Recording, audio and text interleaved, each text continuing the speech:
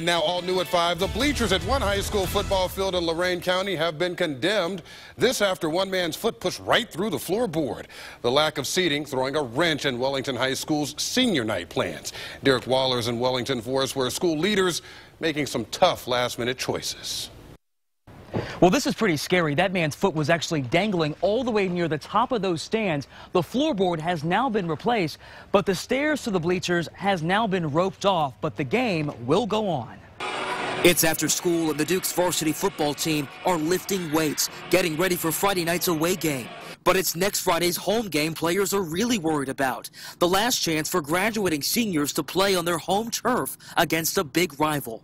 It's kind of emotional at the same point, it's really heartwarming that our biggest game of the year is the most important game of the year, and it's senior night too. And right now, there's nowhere for hundreds of expected fans to sit. Yeah, as you can see, that board's been replaced since. School Superintendent Dennis Mock shows us where one man's foot came right through the wooden floorboard. It happened during the last home game two Fridays ago. Since then, an insurance adjuster checked out the stands and said it was so unsafe he refused to insure it. We've got to protect the fans and, uh, you know, make sure that uh, the facility's safe. The metal structure underneath is still sound.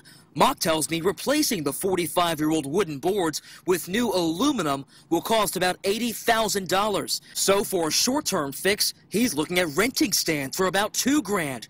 Or for an experience no one will forget, Fans could be asked to bring their own seats. If we do go to lawn chairs and standing room only, they'll probably remember that more than they will anything else about the game, unfortunately.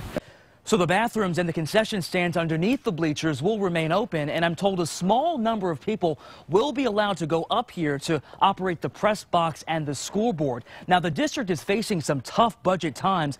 They actually just got rid of more than two dozen teaching positions, but I'm told the money to replace these bleachers will actually come from a separate permanent maintenance fund. In Wellington, I'm Derek Waller, News Channel 5.